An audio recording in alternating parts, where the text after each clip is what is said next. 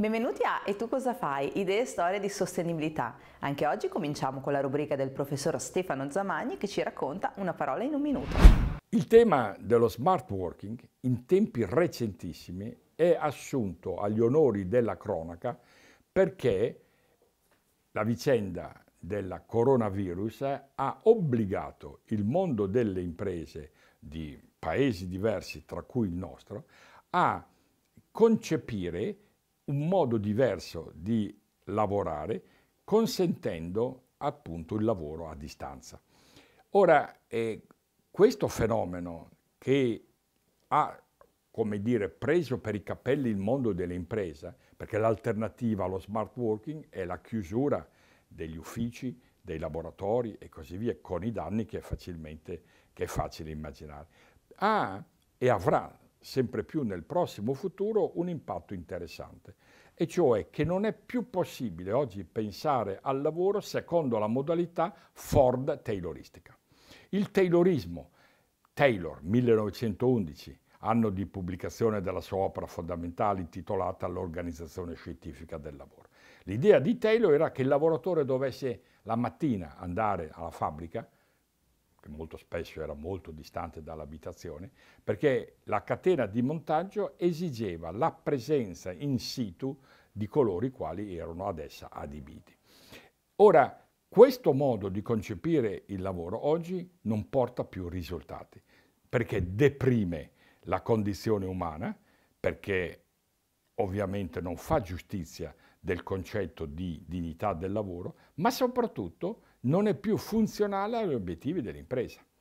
Ora, perché ancora non è diffuso lo smart working? Perché la più parte delle imprese non sono ancora state in grado, o per volere oppure per incapacità, questo dipende dai casi, di modificare i processi lavorativi nel senso di andare verso la digitalizzazione completa del processo lavorativo. Non basta introdurre una macchina, una, eh, una stampante, bisogna cambiare l'intera organizzazione. Quando questo avverrà, allora lo smart working diventerà un fatto normale. Il caseificio Comellini a Castel San Pietro Terme ha fatto di efficientamento energetico e sostenibilità valori fondamentali dell'azienda. Ne abbiamo parlato con Luca Comellini. Il nostro caseificio è dal 1969 che eh, abbiamo iniziato l'attività. Lavoriamo circa 280 quintali, 300 quintali di latte al giorno. E la maggior parte di questo latte viene raccolto eh, qui attorno al caseificio nel raggio di meno di 10 km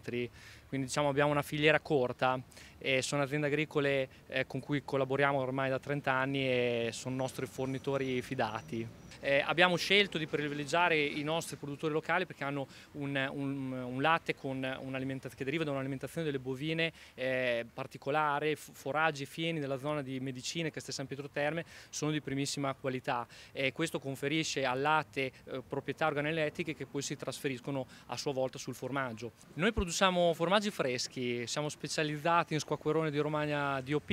eh, casatella, stracchino, una cacciota tipica di Castel San Pietro, un formaggio semiduro, eh, ricotte tradizionali di siero e una ricotta latte intero che mm, si chiama mousse di latte. Poi abbiamo tutta una mm, linea di prodotti senza lattosio con caglio di cardo vegetale. Eh, per appunto le persone intolleranti. Abbiamo diciamo, inserito il tema della sostenibilità come uno dei nostri obiettivi della politica della qualità e da diversi anni che ci impegniamo in questo senso abbiamo analizzato tutto quello che è il ciclo produttivo, le varie fasi e mm, abbiamo individuato eh, obiettivi e risorse eh, da destinare per cercare di migliorare.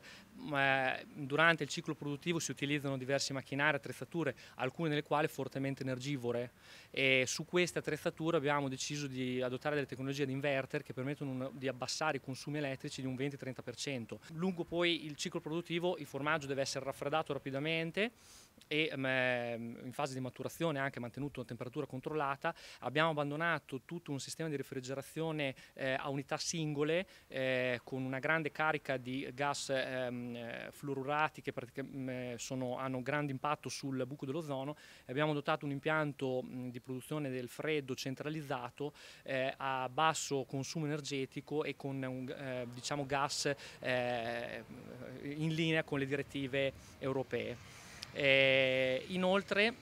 durante le fasi di lavaggio che sono una parte preponderante dell'attività in un casificio eh, tutta l'acqua, eh, l'ultima acqua di risciacquo, quindi la più pulita, viene, non viene buttata in fogna, ma per abbassare appunto i consumi idrici del casificio la recuperiamo e la utilizziamo per effettuare prime attività di risciacquo, quindi per togliere le parti più grosse eh, dello sporco, in modo da ridurre quello che è l'impatto diciamo, del consumo idrico per litro di latte eh, trasformato. Eh, infine l'ultima parte diciamo, dove eh, ultimamente ci, siamo, ci, stiamo impegnando è il materiale eh, che utilizziamo per il pack del, del per confezionare i formaggi. Uh, fino ad oggi abbiamo utilizzato dei materiali eh, plastici che non potevano andare nella, nella, plastica, nella raccolta differenziata e li stiamo abbandonando e stiamo uh, utilizzando dei monomateriali plastici questi eh, sono 100% riciclabili. Tra l'altro anche nelle grafiche abbiamo, stiamo rinnovando eh, per poter abbassare quello che è eh, la percentuale dei pigmenti nei materiali e quindi migliorare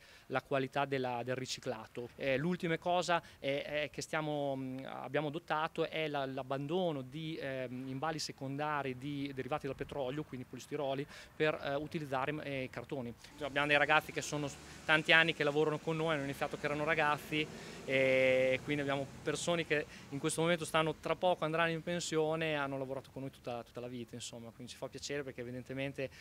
eh, il clima e l'ambiente di lavoro è, è, positivo e tutti si trovano bene, insomma, speriamo di mantenerla così. Maurizio Melis di Radio 24 ai nostri microfoni ha parlato di sostenibilità, innovazione e nuove tecnologie. Maurizio Melis, divulgatore di Radio 24 con il suo Smart City, l'innovazione, parlate di innovazione, ma a che punto siamo in Italia con eh, l'innovazione e con la sostenibilità? Allora, intanto in Italia si fa,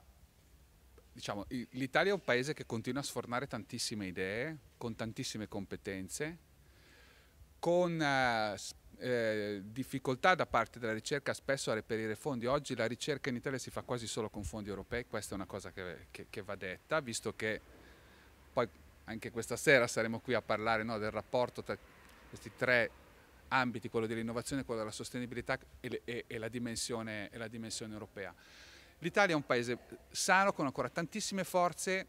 tanta capacità di invenzione, i nostri ricercatori sono tra i più prolifici al mondo in termini di pubblicazioni, naturalmente la capacità poi di realizzare, che spesso non c'è invece, eh, rischia nel lungo periodo di indebolire anche la parte creativa perché se ne va questa parte, questa parte creativa. Però io credo che ancora adesso abbiamo tante, tante frecce al nostro arco. Dal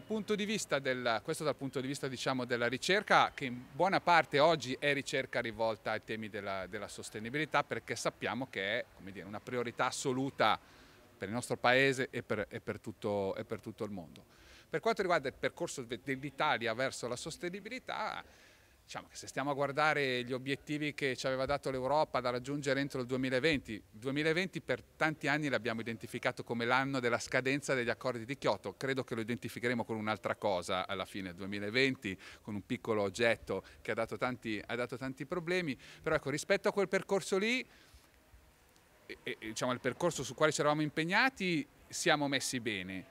ma la strada che resta da fare è tantissima, in realtà gli impegni eh, che abbiamo preso per il 2030 e poi per il 2050 sono molto più difficili da diciamo, rispettare di quanto non sia stato rispettare gli impegni precedenti, quindi cosa c'è scritto lì? È ora di agire. L'APAN Confartigianato Modena e Reggio, sponsor del Forum Sostenibilità e Innovazione 2020. Ne abbiamo parlato con Daniele Casolari, responsabile sindacale.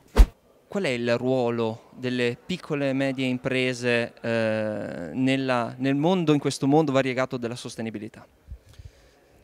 Dunque, le piccole e medie imprese eh, rappresentano un elemento, la sostenibilità per le piccole e medie imprese rappresenta sicuramente un'opportunità, un'opportunità di rimanere competitivi eh, sul mercato, Quindi come associazione abbiamo già deciso da diversi anni di intraprendere un percorso e una progettualità. Un percorso per eh, innanzitutto sensibilizzare le piccole e medie imprese ma anche l'opinione pubblica eh, facendo degli incontri mirati con dei divulgatori scientifici ma anche eh, andando ad analizzare i temi principali eh, della sostenibilità e dell'economia circolare applicata appunto alle piccole e medie imprese è un'opportunità ed è importante quindi anche capire, e l'abbiamo fatto attraverso un'analisi e un approfondimento eh, sulle, sulle, piccole e medie imprese del territorio, parlo di imprese artigiani e commercianti, parlo di, nelle diverse filiere, quindi il comparto costruzioni piuttosto che le aziende del manifatturiero